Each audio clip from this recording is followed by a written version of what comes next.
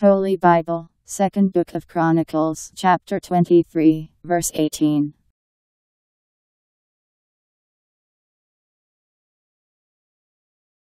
And Jehoiada put the work and the care of the house of the Lord into the hands of the priests and the Levites, who had been grouped in divisions by David to make burnt offerings to the Lord, as it is recorded in the law of Moses, with joy and song as David had said.